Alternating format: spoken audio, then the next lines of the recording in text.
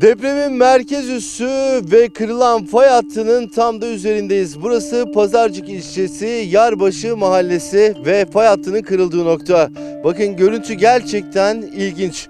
Kırılma hemen yukarıdaki tepeden başladı. Aşağıya doğru geldi, geldi, geldi ve ardından buradaki yolla devam etti. Bakın fay hattının geçtiği noktada kırılmaların oluşturduğu görüntüyü görüyorsunuz. Aslında burası bir yoldu ve burada bir güvenlik kulübesi var ki o sırada bir güvenlik görevlisi vardı içeride ve fay hattıyla arasındaki mesafe yaklaşık 5 metreydi ve deprem anında o güvenlik görevlisi bu güvenlik kulübesinden çıktı koşarak kaçmaya çalıştı ama kırılan fay hattının içine düşe çıka e, kurtulmayı başardı. Sağ öncelikle onu söyleyelim durumu da gayet iyi. Güvenlik kulübesinin içerisine baktığımız zaman da Fay hattının yanındaki bu kulübenin içerisindeki hasar çok net bir şekilde gözler önüne seriliyor ve 7,7'lik depremin merkez üssü burası. Tam da fay hattının olduğu noktanın üzerindeyiz TRT Haber ekibi olarak. Şöyle ilerliyoruz. Bakın buradaki görevliler var e, ve onlar bu kırılmanın gerçekleştiği anda buradalardı aslında ve onlarla da konuşacağız. Merhaba, geçmiş olsun. Teşekkür ederim. Fay hattı burası mı? Fay hattının geçtiği nokta burası. ilk başlangıç noktası. Hı hı.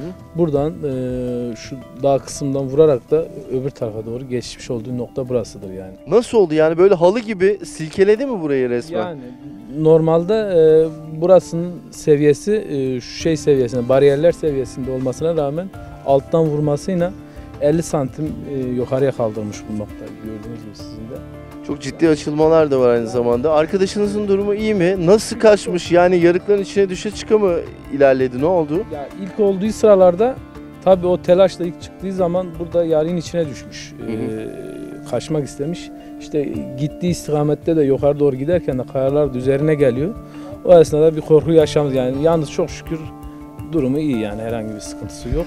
Bakın gerçekten çok geçmiş olsun sizlere. Gerçekten çok ilginç bir görüntüyü gösterelim size. Bakın yani işte o kırılma ile birlikte oluşan görüntü görüyorsunuz ama daha da ilginç olan görüntüyü gösterelim kameraman arkadaşım Fatih Özdemir ile birlikte.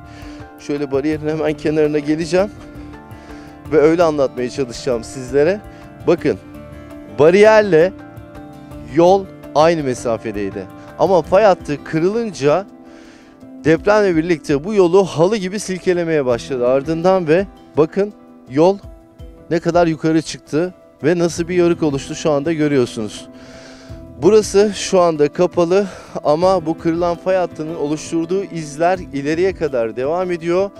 Bu felaketin, bu depremin ne kadar etkili olduğunu ve nasıl bir manzaraya yol açtığını işte görüyorsunuz. Kahramanmaraş'ı ve birçok ilimizi etkisi altına alan o deprem felaketinin başladığı nokta, fay hattının geçtiği nokta burası ve buradaki görevliler de şu anda buradalar. Ekipler gelecek bir taraftan birazdan buraya ve bu bölgede çalışmalar başlatacaklar. Aynı zamanda işte fay hattının oluşturduğu görüntü, yırtılan fay hattının şu anda tam da üzerinde duruyoruz ve böyle bir manzara ortaya çıktı.